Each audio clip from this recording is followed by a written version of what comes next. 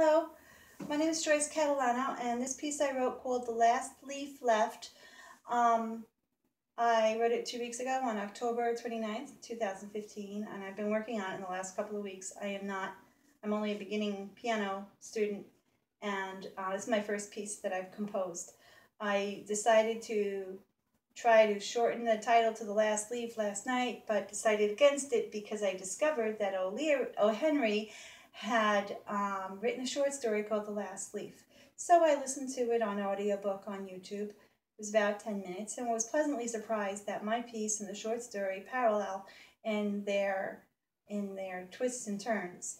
Um, and I was also more surpri- surprised and, and, well, not really surprised that they emote similar stories uh, artistically in expression.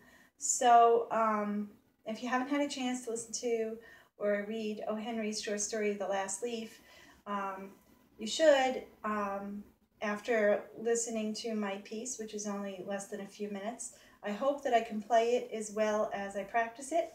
So here goes.